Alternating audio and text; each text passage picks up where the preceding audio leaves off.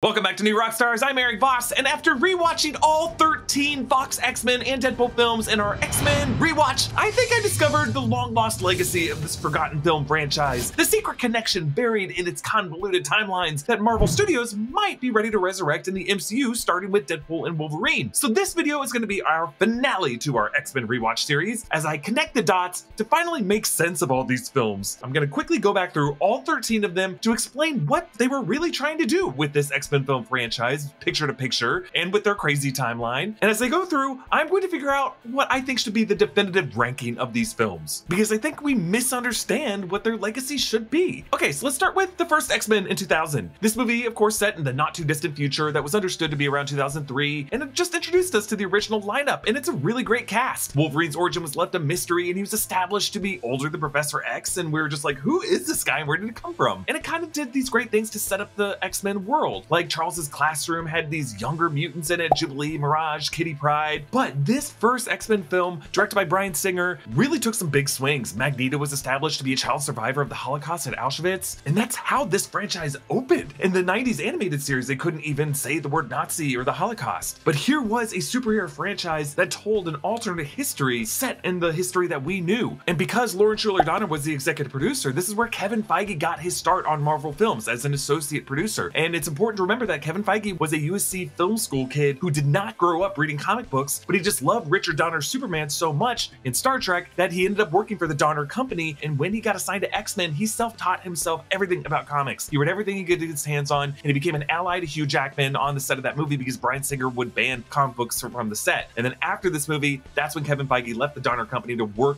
for Marvel Entertainment, and he produced all 2000s era Marvel movies. Really, this first X-Men movie just nailed it with the character introductions. It took some bold swings and it has some really great memorable moments. The final battle on Liberty Island, Magneto tearing apart the train car, all these hold up as great sequences, and you really just cannot beat how great Hugh Jackman is in this film. So on my list, it's gonna be number five. But moving on to X2 X-Men United 2003, this is set a few months after the first X-Men film, so we're still roughly in 2003, and this is one of the all-time best superhero movie sequels. And think about it, from X2 in 2003 to Spider-Man 2 in 2004, Marvel movies were cooking in this era. As far as we could see, there would be no need for an MCU MCU. Now we could overlook the 2003 Ben Affleck Daredevil. That's how good these two movies were. And there was that moment where Mystique looked at Stryker's computer where dozens of X-Men characters were listed. It kind of felt like it was the animated series come to life. This was a heavily populated mutant world and it was awesome. The mutants were now dealing with serious social and political issues that took them to the White House. Brian Cox as Colonel Stryker remains one of the best ever Marvel movie villains. And this movie is just great sequence after great sequence. Alan Cumming as Nightcrawler in his White House attack, and then the response to that as Stryker's forces assaulted the X Mansion and Wolverine had to defend it, going to Magneto's Hannibal Lecter style prison escape. And then we got to go to this interesting scene with Bobby Drake's family. And then the Blackbird nearly crashes and Nightcrawler catches Rogue from midair. Then the invasion of Stryker's lab with Mystique. And then Wolverine fighting Lady Deathstrike. And then Magneto pulling an incredible twist by weaponizing Cerebro. So with this movie, Bryan Singer established himself as a top director who seems like he could speak on complex subjects, but also this really shielded him from scrutiny scrutiny, and that is a complex part of this movie's legacy. Like, notice how Alan Cumming did not ever return to this franchise. Just imagine how fun he would be in all X-Men movies that came after. Still, this movie is so good on its own, and it ranks number two on my list. Okay, X-Men The Last Stand in 2006. So of all the movies on this list, this movie is pretty high up there when it comes to movies that changed, that got better upon rewatch. It's definitely a drop off from X2, but really just for the cast alone, it remains stronger than most of the other X-Men films that followed. It is the highest domestic box office of any X-Men film other than the Deadpool movies. Domestic, overseas, some of the other movies did better. The Golden Gate Bridge sequence was at the time one of the most expensive special effects of all time, but it holds up. It looks incredible and it lifts the entire film upon rewatch. Kelsey Grammer just makes a great beast and just has some really fun chemistry with Hugh Jackman. The VFX on Patrick Stewart and Ian McKellen in the opening scene really holds up. The Danger Room battle feels like it's the 90s series in the best way, but really this script just suffers from a director handoff from Matthew Vaughn to Brett Ratner, and then the script tried too hard to be both a cure storyline and a Dark Phoenix storyline. And Vinnie Jones was a Matthew Vaughn holdover that Brett Ratner turned into a joke. And because they viewed this as the end of a trilogy, they just killed off way too many characters. Cyclops, Professor X, Jean Grey, lots of the mutants on Alcatraz. Mystique was implied to be depowered, though presumably she regained them. They really just edited this movie to hell, and the best parts of it are in the deleted scenes. There's too many mutants in the woods. Team Omega is just not very memorable. And rather than lean into the LGBT themes of Bobby's character in X2, they pivoted to stick him in this lame love triangle with Rogue and Kitty Pryde that leaves everyone everyone just looking stupider than they were in the previous film. And they reassigned the LGBT themes to Warren Worthington, aka Angel, but Ben Foster, who was one of the best working actors in the industry at the time, is given nothing to do in this movie, really. And it's hard for me to even rank the movie, so for now, I'm just gonna put it in an unsorted category. I'll rank it at the end of this video. But this movie left Fox in the worst possible crossroad because it made enough money to give them too many options, and it closed too many doors with character deaths, and it just made too big of a star out of Hugh Jackman Wolverine. And that's really where Fox went next, and you can't blame them. X-Men Origins, Wolverine, 2009. It's another movie that honestly got better with rewatch somehow. It's easy to forget how watchable Hugh Jackman is and how much his charisma alone can carry a film. It's a further descent from X-Men The Last Stand, but it lives up to its promise as an interesting origin story for James Howlett, aka Logan, aka Wolverine, as a wanderer and a forever soldier who fought Lieutenant Dan family tree style in several American wars. Now, this movie is directed by Gavin Hood. David Benioff co-wrote it, and it jumps from 1845 to Vietnam in the 70s, and then Team X in the late 70s to the main events of the film in the early 80s. And Team X is surprisingly enjoyable this film. Ryan Reynolds as Wade Wilson, Dominic Monaghan as Bolt, Will I Am as John Wraith, Kevin Durand as Fred Dukes, Daniel Henney as Agent Zero, and Liev Schreiber as Victor Creed. Their attack on that Nigerian drug lord's compound was really fun. Taylor Kitsch shows up later in this movie and would have been really fun as a Remy LeBeau in this franchise. We did not need to see Channing Tatum ever. The twist of Kayla Silverfox spying on Wolverine in order to protect her sister really holds up. Even the decision to make Weapon 11 Deadpool a sealed mouth killer, I believe is just misunderstood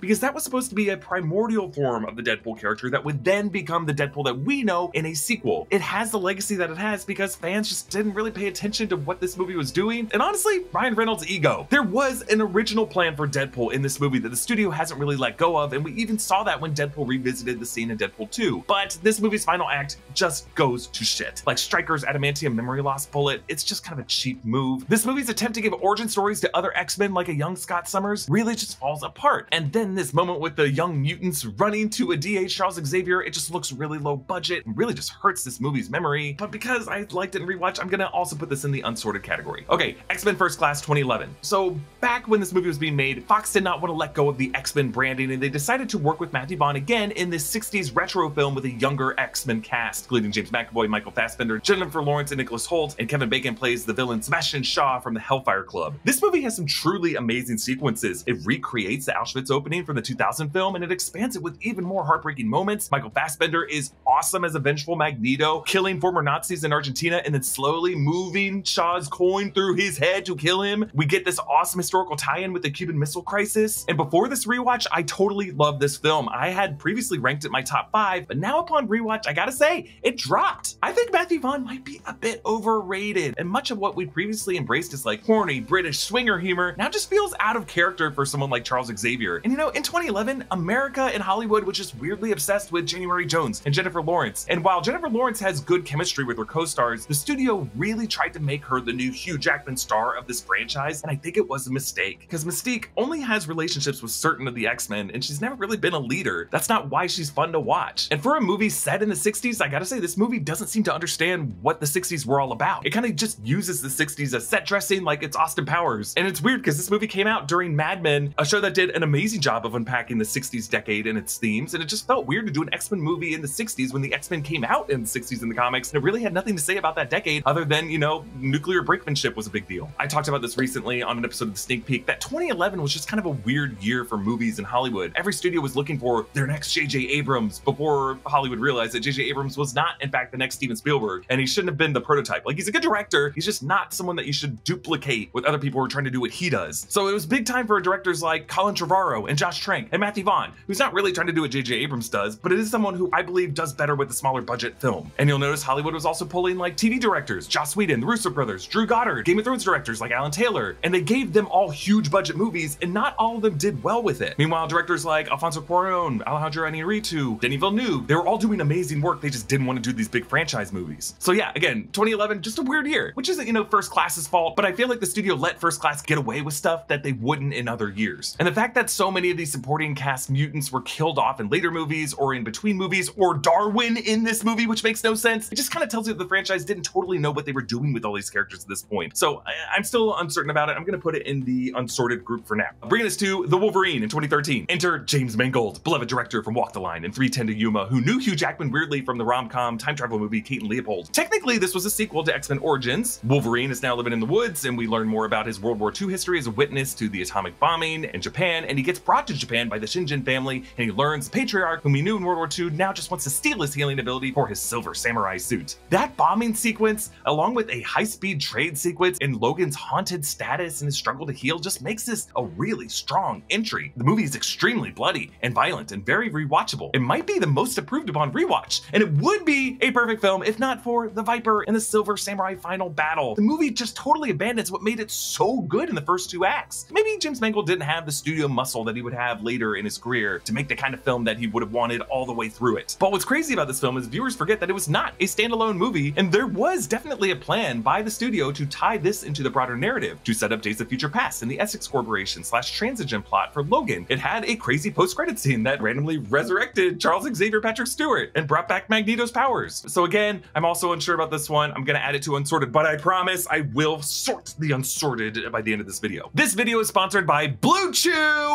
Look, what you do in your bedroom is your business, but if your business could use a little boost, then it's time to call in a consultant. And the best consultant you can get for your bedroom business is Blue Chew. Blue Chew is a unique online service that delivers the same active ingredients as Viagra, Cialis, and Levitra, but in chewable tablets and at a fraction of the cost. You can take them anytime, day or night. That way you can plan ahead or be ready for whenever an opportunity arises. It's super easy to do. Just sign up at bluechew.com, consult with one of their licensed medical providers, and once you're approved, you'll receive your prescription within days. And it's all done online. That means no visits to the doctor's office, no awkward conversations, no waiting in line at the pharmacy. Blue Chew's tablets are made in the USA and prepared and shipped direct to your door in a discreet package. If you're skeptical or don't think you need it, try it free for a month and see. Blue Chew wants to help you have better sex. Discover your options at bluechew.com chew it and do it. And we've got a special deal for our audience. Try Blue Chew free when you use our promo code New Rockstars at checkout. Just pay $5 shipping. That's bluechew.com. Promo code New Rockstars to receive your first month free. Visit bluechew.com for more details and important safety information. And we thank Blue Chew for sponsoring our channel. Bringing us to X-Men Days of Future Past in 2014. So Bryan Singer returns to the franchise and Fox is ready for a major crossover event that combines the eras in this movie rocks. It doesn't really follow Days of Future Past from the comics or the animated series, but it is its own solid solid time travel storyline that uses unstuck consciousness time travel like we saw in Lost and Slaughterhouse 5. This movie starts in 2023 in a dystopian Manhattan, and then Logan goes back 50 years to 1973 to prevent Mystique from assassinating Bolivar Trask and accidentally giving her DNA to the Trask Company to create deadly shapeshifting sentinels in a future that imprisons the mutants in camps. But I encourage you to watch the Rogue cut of the movie because that puts Anna Paquin Rogue back into the story as she was intended to be because her mutant absorption powers were supposed to be part of the Sentinel technology. We also learned in the Rogue cut that Pyro survived Last Stand because we saw a Zippo lighter in a memorial. This movie has also great sequences. We get this opening death montage as the mutants are being hunted. We see this awesome sequence of Quicksilver breaking Magneto out of prison with this awesome time in a bottle sequence. And then the final act, the editing of the Sentinels attacking in the future while Mystique is dealing with a moral crisis of whether or not to kill President Nixon. It really takes the best elements of Bryan Singer's directing work from the era of X2 and the historical tie-ins from First Class, and it uses just the right amount of Wolverine in the story. It's a true ensemble story. It feels like we are back in the 90s animated series with this type of movie. It ends with the X-Men franchise restored with the 2000s era film alive once again in a new perfect timeline set in 2023, 2024, and we get a little tease of Apocalypse. I love this movie. I'll rewatch it all the time. I rank it number three on my list. Next, Deadpool 2016. Ryan Reynolds willed this movie to life, scoring a budget for a test footage with Tim Miller and then leaking that footage so fans would demand the full feature. Deadpool essentially took over the franchise here. But it's not the raunchy humor that makes it work, it's really the amazing action and stunt work, and that to me has been what's missing in the MCU and what Deadpool and Wolverine has the most promise to contribute. What remains so impressive about the 2016 Deadpool film is how efficient the story is and how they do so much with so little. It's one of the best structured superhero screenplays ever written. It's an origin story, but it stays in the present, and it's really just one long sequence on a freeway, and then they punctuate it with these great moments, like the 12 bullet countdown or his argument with Colossus. Like Deadpool has such great chemistry with Colossus in this movie, and you forget that Colossus is a CGI character that they brought to life with five actors. Really, this movie just had the levity that all the other X-Men movies were missing. I rank it number four, only because it's less of an X-Men movie than it is just a Ryan Reynolds movie, and I believe characters should be bigger than the actors who play them. Okay, bringing us to X-Men Apocalypse 2016. This came out a few months after Deadpool in 2016, and it's why the X-Men franchise, I believe, has such a sour legacy. Because at this time, Marvel Studios was and socking dingers. Hit after hit. Civil War, to Doctor Strange, to Guardians of the Galaxy Volume 2, to Spider-Man Homecoming, to Thor Ragnarok, to Black Panther, to Infinity War. You cannot beat that. By comparison, the X-Men franchise would just take these wild swings in quality, and it was just impossible to keep up. So as a sequel to X-Men First Class and Days of Future Past, we are now in the year of 1983 in a revised timeline with Oscar Isaac as Apocalypse back from his hibernation, seeking four horsemen to remake the world. And really, this movie ended up being to its predecessors what Last Stand was to X2, a huge drop in quality, and this movie just feels like even lesser of a derivative. Bryan Singer lazily restages the hits from Days of Future Past, like we get another Quicksilver sequence in the X Mansion set to Sweet Dreams, and honestly, I'll go to the grave saying that it is not as good as the Time in the Bottle sequence. It's just over the top, and basically it shows how Quicksilver can stop time. And if you get stop time, was anyone in that mansion really in danger? Really, this was Bryan Singer's breaking point with the franchise. Simon Kinberg essentially had to take over this movie, and you can see it as you're watching. And for a movie set in the 80s, it doesn't really understand what the 80s were about other than nuclear brinkmanship and then pop culture set dressing. The franchise bet big on Sophie Turner, and I don't even think she wanted to be this big of an action star. She does seem like she's been fun to work with, so I rank it next to last on the list, number 12. But you know what? There was a plan by the studio. The post-credit scene set up Mr. Sinister, and I think Fox and Kinberg wanted to set up an alternate doomed future after Days of Future Past in which mutants had been eradicated through chemical alteration in the food supply starting in the 80s and the 90s. And that was happening in the background of this movie. It's just characters didn't sense it yet. Yeah, Peter Maximoff, there was more danger in that can of tab than there was in the exploding mansion. Okay, Logan, 2017, James Mangold is back, following up his 2013 Wolverine with, beyond a doubt, the best X-Men film. It's an easy number one, folks. Not just because it sets itself apart, it actually does more to fit into the X-Men canonicity than other titles do. It references past battles. It's another Professor X Wolverine team up, and they're talking about their past as if it's ringing through their memories. Logan has to travel with X-23, Laura, who's one of the X-23 subjects who were created with the DNA of famous mutants like himself, as well as Bolt and Avalanche from a Transigen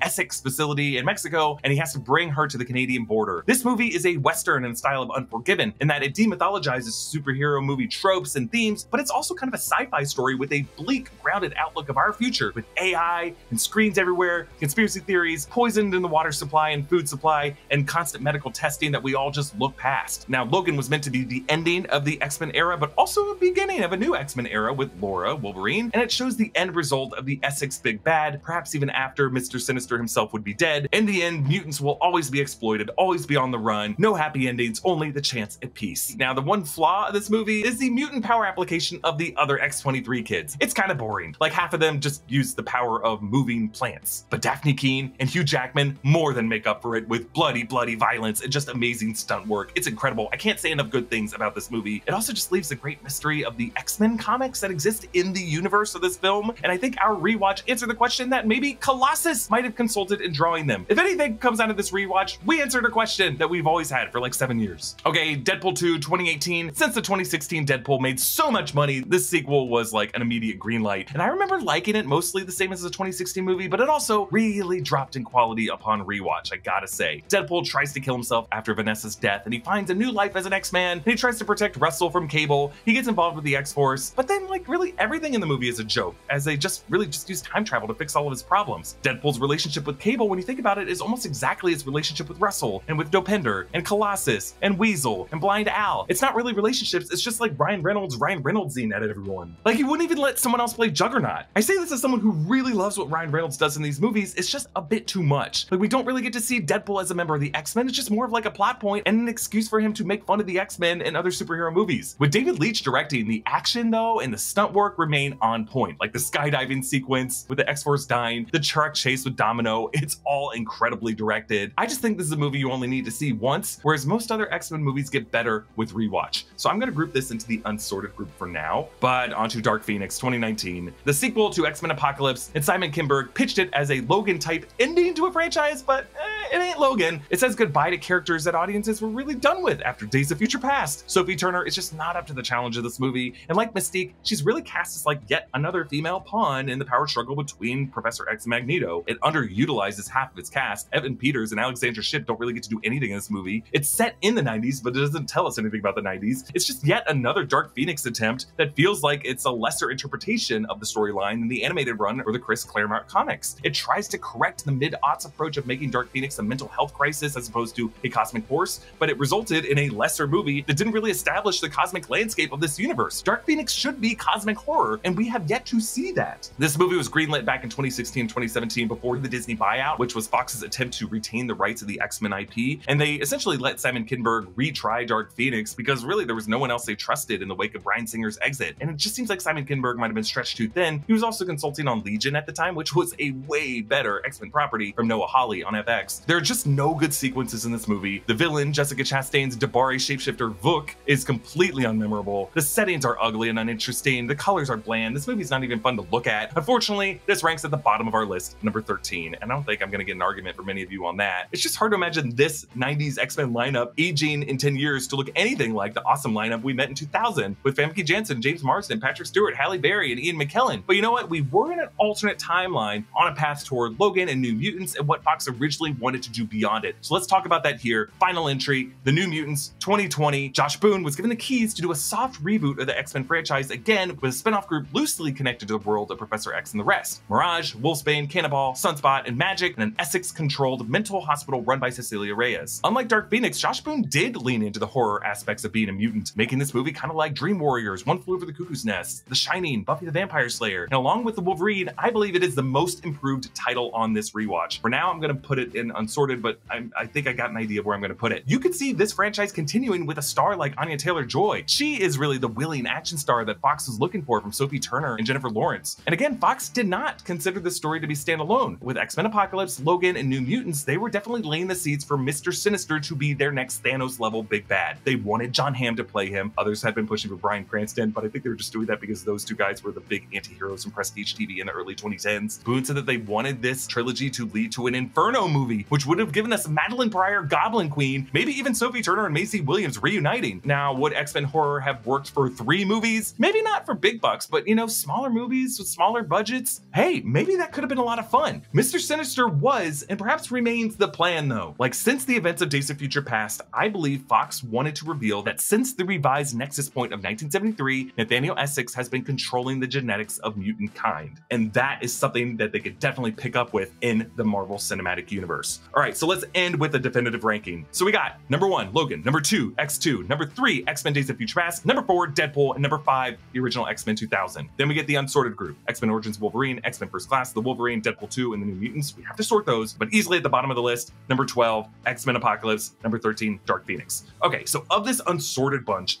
First Class and the Wolverine are the strongest, and Wolverine is the most improved, while First Class just not as much upon rewatch. So I'm gonna say number six, the Wolverine, number seven, X-Men First Class. Okay, then I'm gonna be a bit controversial here and add the New Mutants right in the middle of this list. Number eight, the New Mutants. I just can't really fault the film. It works. It may not live up as like an X-Men film, but we get to see some really cool exploration of mutant powers and psychology. With all the release delays, it honestly gave them a bit more time to make this movie's effects and visuals look really cool. I think it only has the vibe of a movie you watch just once because it didn't lead to any sequels. But if Marvel ever brings back Anya Taylor-Joy as Magic, a lot of people are gonna go back to this movie and realize how good it was. Okay, so next up, as much as I appreciated The Last Stand more upon rewatch, I really do prefer the action of Deadpool 2 more. So I'm gonna say number nine, Deadpool 2, and number 10, X-Men The Last Stand. And I know it feels harsh to rank The Last Stand this low because it did a lot of important things for the franchise and it was still a big hit. I just beg all of you to rewatch that movie and live through all of Brett Ratner's